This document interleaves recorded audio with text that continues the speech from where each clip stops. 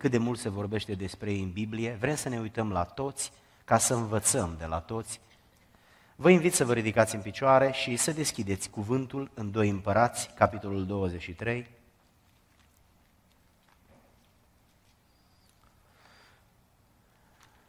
Vom citi de la versetul 31 la 33. 2 Împărați, capitolul 23, versetele 31, 32 și 33. Ioahaz avea 23 de ani când s-a făcut împărat și a domnit 3 ani la Ierusalim. Mama sa se chema Hamutal, fata lui Ieremia din Libna. El a făcut ce este rău înaintea Domnului, tocmai cum făcuseră părinții lui. Faraon Neco l-a pus în lanțuri la, la Ribla, în țara Hamatului ca să nu mai domnească la Ierusalim. Și a pus asupra țării o gloabă de 100 de talanți de argint și de un talent de aur. Amin. Mulțumesc, vă rog să vă așezați, dragii mei.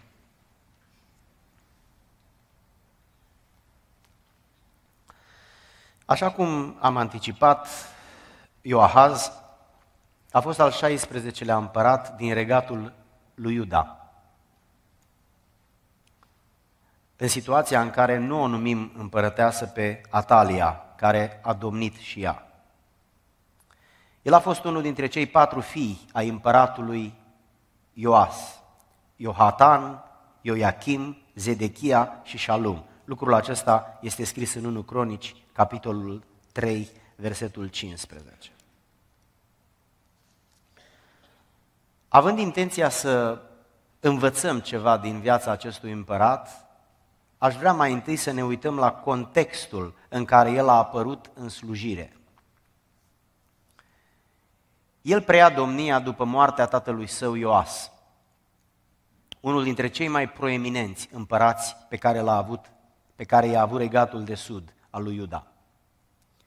Tatăl său, Ioas, a avut o domnie foarte lungă și foarte folositoare pentru țară, pentru națiune și a început domnia la vârsta de 8 ani, fiind doar copil, și a domnit 31 de ani la Ierusalim.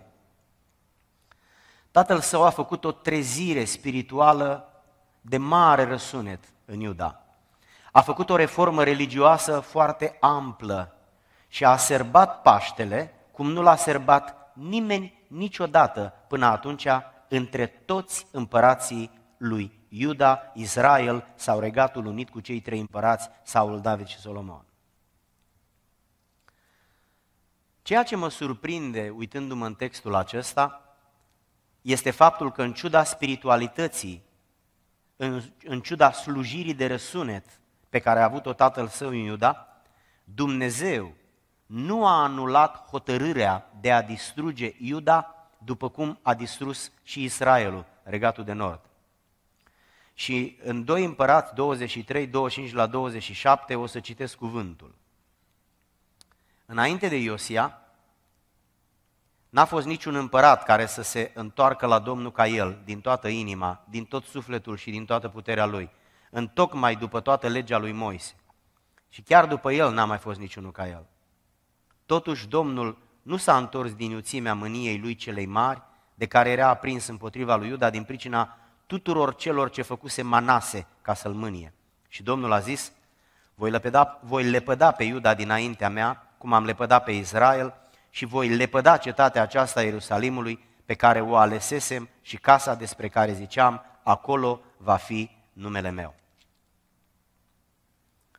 Observați, frați și surori, că în ciuda pocăinței tatălui său, Iosia, Dumnezeu nu anulează hotărârea de a distruge țara, și motivul pentru care nu o anulează este menționat în Biblie. Manase, străbunicul împăratului despre care noi studiem în această seară, Ioahaz, a fost atât de rău încât Dumnezeu nu a putut să treacă peste ceea ce el a făcut. Și datorită răutății lui Manase, Dumnezeu a pronunțat sentința să distrugă națiunea și în ciuda faptului că urmează copilul lui Amon și mai apoi nepotul lui Ioas, tatăl lui Ioahaz despre care studiem noi, și împăratul acesta a fost extraordinar de aproape de Dumnezeu cu inima, cu viața și cu slujirea, Dumnezeu nu a anulat hotărârea aceasta de distrugere a țării. Am stat și m-am întrebat citind textul, care au fost faptele lui Manase atât de grave și vinovate, încât Dumnezeu nu le-a putut ierta. Și datorită lui Manase, străbunicul lui Oahaz, Dumnezeu și-a păstrat decizia de a distruge națiunea. Care au fost faptele acestea atât de grave? Este important pentru noi să înțelegem cum gândește Dumnezeu. Pentru că în același fel va gândi și cu privire la noi. Noi ca și biserică nu suntem așa de mari la număr cât a fost Iuda, dar suntem și noi un grup de oameni. Și la nivel de biserică, fiind o mie și ceva de suflete cu copii aici, și noi ne putem face vinovați înaintea lui Dumnezeu prin căpeteniile noastre sau prin familiile bisericii. Ne putem face așa de vinovați încât Dumnezeu să nu mai poată trece dincolo, iertând. Suntem confruntați cu o decizie a lui Dumnezeu asupra căreia El nu mai revine. În ciuda faptului că urmează o generație, Amon, urmează o altă generație, Iosia, și urmează o altă generație, Ioahaz, și Dumnezeu vorbește la strănepot și spune, nu o să iert ce s-a întâmplat în vremea străbunicului vostru și îmi păstrez decizia de a distruge țara. Manase a fost al 14-lea împărat al lui Iuda. A avut 12 ani când a ajuns împărat și a domnit cel mai mult dintre toți împărații ai Regatului Unit, ai Regatului de Sud sau de Nord. A domnit 55 de ani.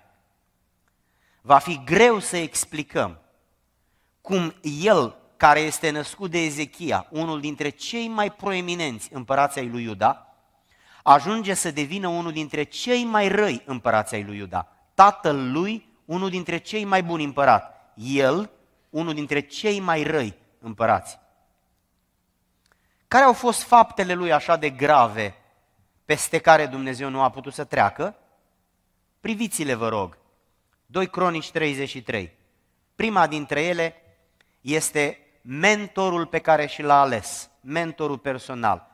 Vrem sau nu vrem, în ciuda faptului că noi pretindem că sunt, pe noi Dumnezeu ne învață și pe noi cuvântul ne învață, noi avem oameni care ne influențează. Fiecare dintre noi respectăm anumite persoane la care ne uităm cu respect și de la care învățăm. Persoanele acelea au trecere mai mare în inima noastră decât altele. Să vină o sută de oameni să ne spună un lucru, nu acceptăm. Dar dacă vine persoana aceea pe care noi o avem la inimă și ne spune un lucru, noi acceptăm. Fiecare suntem modelați de cineva anume. Ne uităm spre cineva ca la un mentor, ca la un exemplu. Fie că e din familie, fie că e din afara familiei. Ei, care a fost mentorul lui Manase? Să citim în Biblie. Modelul lui Manase au fost neamurile izgonite de Dumnezeu. 2 Cronici 33 cu 2. Dumnezeu a urât anumite națiuni datorită destrăbălărilor și le-a izgonit din țară. Ei bine, Manase, în ciuda faptului că era un evreu, era un împărat, era copilul unuia dintre cei mai sclipitori împărați ai lui Iuda, el tocmai modelul acestor etnii destrăbănate le-a urmat. S-a identificat cu cultura lor, cu mentalitatea lor, cu valorile lor, cu prioritățile lor, cu convingerile lor. Mă întreb, dintre toate națiunile pământului, n-a mai avut de la cine să învețe? N-avea poporul lui un trecut de la Avram până atunci? Nu exista în Iuda și în Israel nume de răsunet la care putea să privească ca la exemple? Nu putea să-și aducă aminte de David, de Solomon, de Samuel, de Moise, de Noe, de oamenii lui Dumnezeu? De ce s-o fi inspirat el de la nelegiuiția aceea, de la destrăbălația aceea, de la pângăriția aceea? De ce? De ce omul acesta și-a ales un model atât de negativ, atât de păcătos? Greu de înțeles. Sunt în adunare oameni și copii și au tot felul de modele în Biblie și pur și simplu în viață printre noi. Și pur și simplu îi disprețuiesc îi neglijează și îi ocolesc. Și se uită la Hollywood, se uită în lume, se uită în sport, se uită în politică și se inspiră. Și își clădesc viața personală, viața de familie, viața intelectuală, viața profesională pe aceste modele și ajung destrăbălați la fel ca modelele lor. Manase este exemplu unei nebunii. Omul acesta trăiește în poporul lui Dumnezeu. E înconjurat de exemplele oamenilor lui Dumnezeu cu care Dumnezeu a scris istoria. Și culmea, el se inspiră de la cele mai destrăbălate etnii, popoare, pe care Dumnezeu pur și simplu le-a alungat din jurul lui Israel. Modelul personal a fost cât se poate de greșit ales de Manase. Asta pur și simplu l-a enervat, l-a mâniat pe Dumnezeu, ca să folosim un termen biblic. Apoi, activitatea lui Manase. A zidit altare peste tot în țară, chiar și în casa lui Dumnezeu și în curțile casei lui Dumnezeu. A introdus un idol de lemn în casa lui Dumnezeu. A dat altarul la o parte din templu și l-a înlocuit cu un idol de lemn. În ciuda avertizmentelor pe care prorocii vremii le-au adus.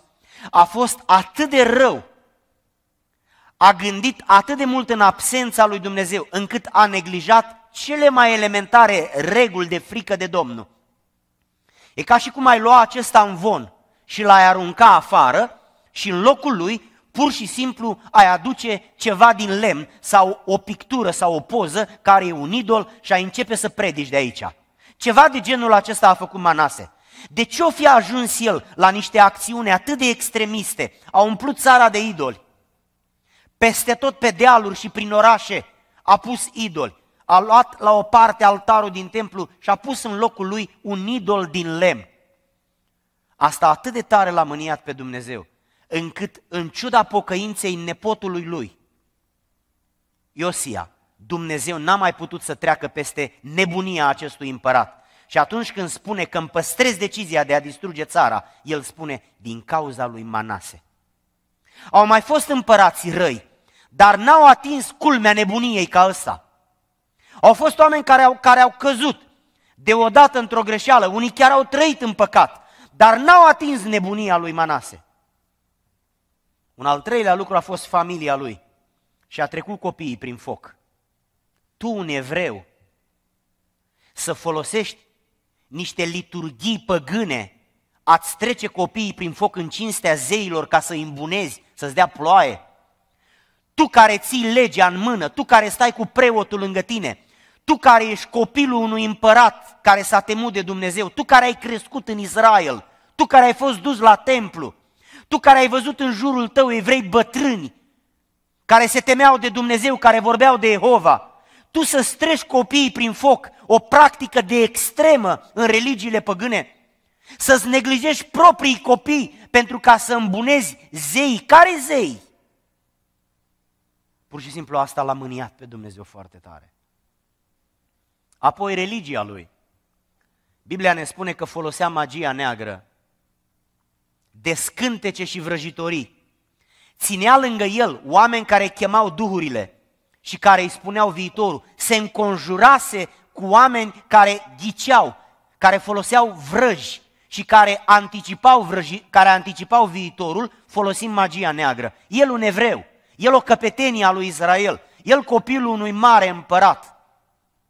Cum, cum a putut omul acesta să cadă în maniera asta? Să nu mai aibă niciun pic de simț, niciun pic de discernământ, niciun pic de omenie. Cum a putut omul acesta să practice cele mai urâte lucruri din religiile păgâne? El un evreu. Dumneavoastră vă imaginați că domnind 55 de ani, el a fost un exemplu pentru națiune. Toți oamenii se uită la cei din frunte, la președinte, la împărat. El e un exemplu. El inspiră prin poziția lui. El dă o notă. El dă o influență. Și 55 de ani, o domnie foarte lungă, presupune două, trei generații. Ei, toate aceste două, trei generații au fost contaminate de păgânismul lui, de nebunia lui. S-au născut două generații de copii care au fost educați într-un spirit păgân și din comun. Și Dumnezeu s-a mâniat pe exemplu negativ al acestui împărat și a spus, nu pot să trec peste asta. cât de atent este Dumnezeu la faptele noastre și la nebunia noastră. Cât de puternică este dreptatea lui Dumnezeu care se ofensează, nu de a căzut deodată într-o greșeală, ci de nebunia de a-L sfida în fiecare zi pe Dumnezeu.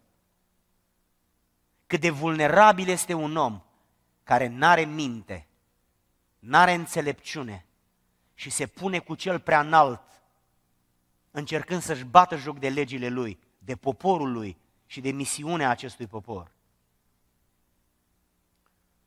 Morala lui a fost de asemenea, a făcut din ce în ce mai mult rău înaintea Domnului și a atras mânia divină. Colaborarea lui a omorât mulți oameni, se pare pentru că l-au mustrat pentru instaurarea idolatriei în țară. 2 Regi 21 cu 16. Au fost mulți oameni de treabă în țară și în domnia asta lungă de 55 de ani au tot așteptat să se trezească, să se corecteze, să se oprească. Și până la urmă și-au luat îndrăzneala, au mers la el și l-au mustrat. El i-a omorât.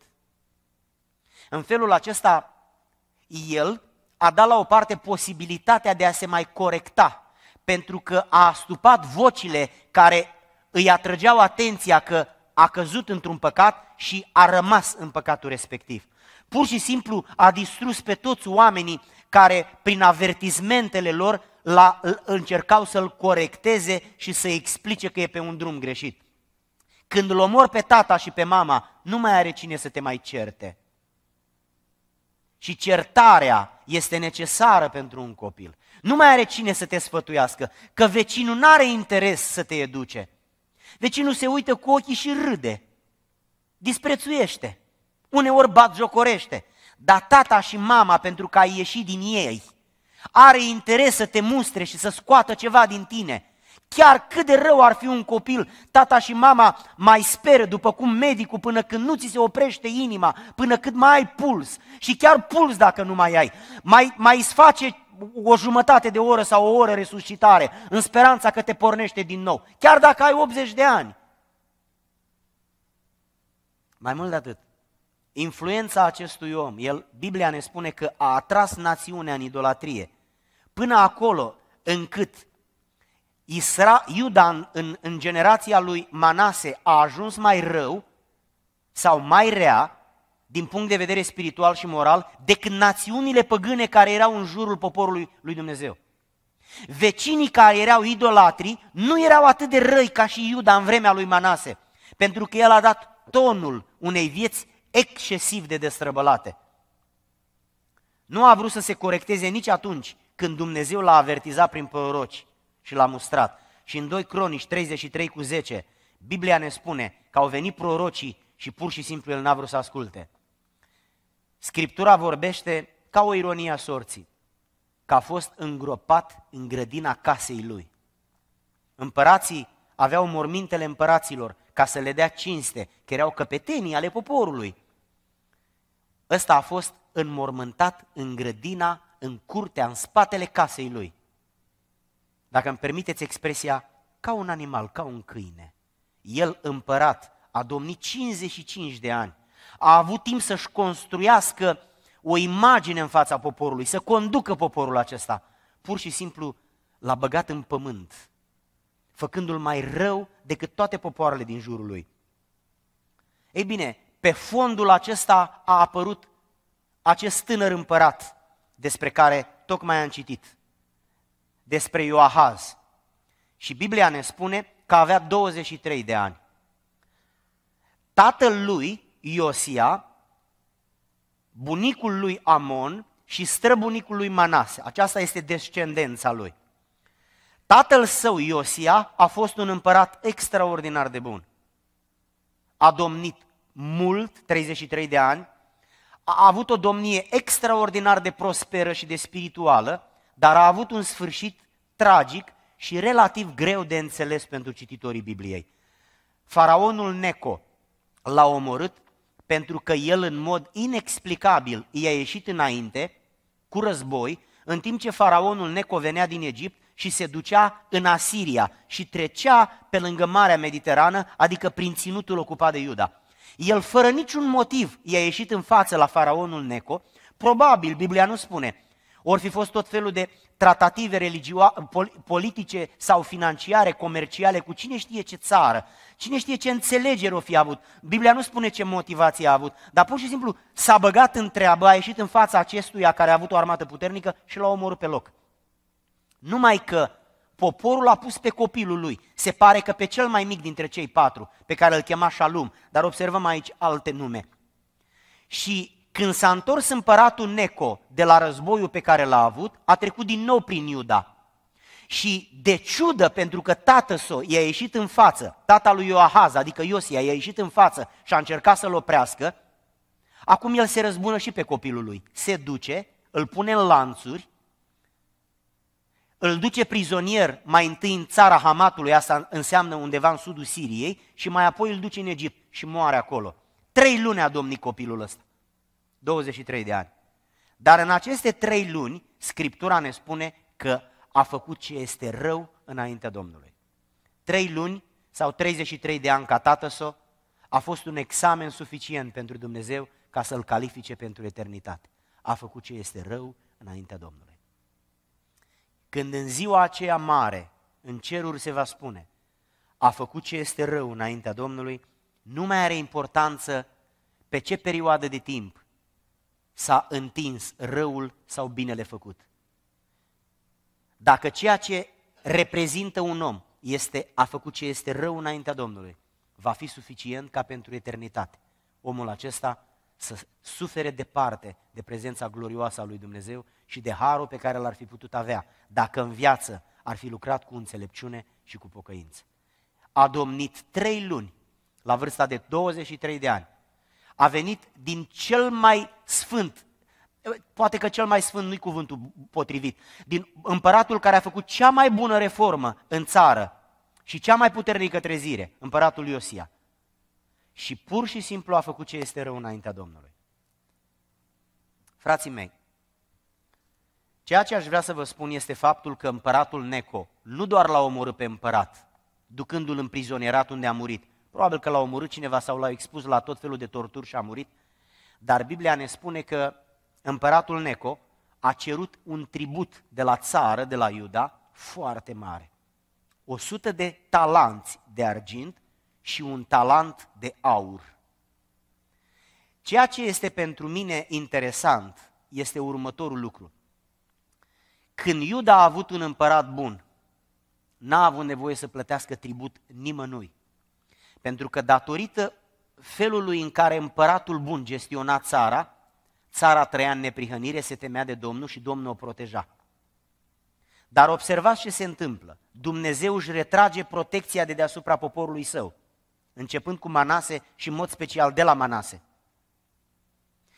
Și actualul împărat este omorât după trei luni de domnie, iar țara pur și simplu este lăsată vulnerabilă în fața Imperiului Egiptean, care la vremea aceea era în expansiune, cere tribut de la ei, îi ocupă și peste trei generații, ultimul fiind împăratul Zedechia, vin babilonienii și distruge națiunea cum a fost distrusă sora lor, Israel, cu ceva timp înainte. Uh, ca și concluzie, vreau să spun trei sau patru lucruri. 1. Deși de obicei copiii se aseamănă cu părinții, prin influența pe care părinții o au asupra copiilor, prin cele două elemente, educația și exemplu personal. Sunt și excepții când copiii sunt foarte diferiți de părinți. Avem pe unul dintre cel mai proeminenți împărați, Iosia, și copilul lui, Ioahaz, este un copil care a făcut ce este rău înaintea Domnului. Biblia îl apreciază mult pe tatăl lui, dar vorbește foarte negativ despre copil. Noi spunem în limba română, așchia nu sare departe de copac, sau alte exemple, alte zicale asemănătoare. Și aceasta este regula, dar sunt tot felul de excepții. Iosia, 33 de ani a domnit. A făcut cea mai mare reformă în țară copilul ăsta al lui n-a văzut nimic de la el? N-a învățat nimic de la el? Nu i-a văzut munca, slujirea, osteneala, dedicarea, pocăința tatălui lui? N-a învățat nimic de la tatăl lui? De la cine o fi învățat el să trăiască împotriva lui Dumnezeu? De ce nu l-o fi copiat el pe tatăl lui? De ce nu l-o fi imitat el pe tatăl lui? Greu de răspuns. De regulă, părinții își influențează copiii și copiii sunt asemenea părinților. Dar regula aceasta are foarte multe excepții. Una dintre ele este prezentă în această seară. Al doilea lucru pe care vreau să-l menționez este că ceea ce face un om are consecințe pe care nu le mai poate evita. Avem o viață la dispoziție. Suntem copii, inocenți, tineri, adulți și în vârstă. Cei mai mulți oameni apucă toate aceste etape ale vieții. Și viața pentru cei mai mulți dintre noi înseamnă 60, 70, 80 de ani, o perioadă lungă de timp, deși e scurtă. Dar în perioada aceasta lungă, Dumnezeu îi dă omului posibilitatea prin experiențele vieții să vadă și să experimenteze multe lucruri și prin toate experiențele acestea să se pocăiască, să se corecteze, să se oprească și să se întoarcă la Dumnezeu. Dacă omul nu vrea să facă asta, urmează consecințele pe care nu le mai poate evita. Observați ce s-a întâmplat aici cu Manase. Pur și simplu nimeni n-a mai putut să corecteze ce a făcut omul acesta. Răutatea lui a scris istoria lui Israel cu niște consecințe devastatoare. Au venit babilonienii și i-au terminat. I-au șters de pe scena istoriei pentru 70 de ani. Toată națiunea, asta 70 de ani, în robie, doar pentru faptul că împărații lor și preoții lor și liderii lor și adulții și bătrânii lor și tot poporul în întregime s-a luptat împotriva sfințeniei lui Dumnezeu, bucurându-se de oportunitățile tinereții, ale căsătoriilor mixte cu tot felul de nelegiuite din alte popoare, închinându-se la lemne cioplite și sfidându-l pe, pe adevăratul Dumnezeu care era în mijlocul lor, bătându-și joc de casa lui Dumnezeu, jucându-se cu, cu altarul din templu și umplând casa de idoli. Al treilea lucru pe care vreau să-l spun și ultimul este că ceea ce face un împărat, bine sau rău, se răsfrânge asupra țării care o, pe care o conduce. Ferice de tine, țara al cărei împărat este de neam mare și ai, căror, ai căror voievozi mănâncă la vremea potrivită, ca să-și întărească puterile, nu ca să se dedea la beție.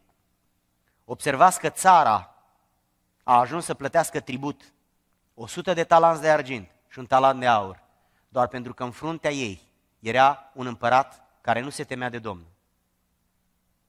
Iar bunicul acestui împărat a fost un împărat care nu se temea de Domnul. Iar străbunicul acestui împărat, Manase, a fost un împărat care nu se temea, nu se temea de Domnul. Și atunci Dumnezeu a spus așa, datorită lui Manase, întreb, Manase era singurul evreu din țară, din Iuda? Nu, erau mulți, câți? N-am de unde să știu câți locuitori erau atunci în Iuda, dar erau mii și mii de mii.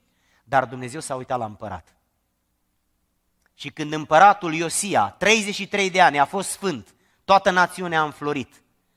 Când împăratul Manase, 55 de ani, a fost păcătos și destrăbălat, Dumnezeu a rostit o sentință asupra căreia nu a mai revenit niciodată. Când un om e rău, consecințele sunt pentru el. Când un împărat este rău, consecințele sunt pentru el, pentru țara lui, pentru familia lui și pentru țara întreagă. Vai de tine țară care ai un împărat rău, ferice de tine țară care ai un împărat bun. De aceea spune Biblia, rugați-vă pentru dregători, rugați-vă pentru mai mari voștri, pentru că împăratul are influență asupra țării, modelul lui e contaminant, prin poziție el are autoritate, are influență. Frați și surori, să învățăm de la Domnul, de la împărații aceștia, să ne temem de Domnul, să ne folosim experiența vârstei, autoritatea și poziția pe care ne-o dă vârsta, de bunici și de copii. Să fim oameni înțelepți, să băgăm de seamă când ne deschidem gura în adunare sau în afara adunării și să dovedim că umblăm cu Dumnezeu. Și în zeci de ani pe care i-am petrecut în viața aceasta pe pământ, am învățat să vorbim vorbe alese și drese cu sare. Am învățat să fim răbdători, iertători și iubitori, pentru că mâine, poi mâine, vine vremea când vom împreuna și noi mâinile acestea nu pentru o noapte, ci pentru eternitate. Și ceea ce rămâne scris înaintea Domnului este a fost rău înaintea lui Dumnezeu sau a fost bun înaintea lui Dumnezeu. Mă rog lui Dumnezeu pentru noi să avem inima deschisă și cuvântul lui Dumnezeu să se întipărească în inima și în mărturia vieții noastre. Amin. Ne ridicăm la rugăciune.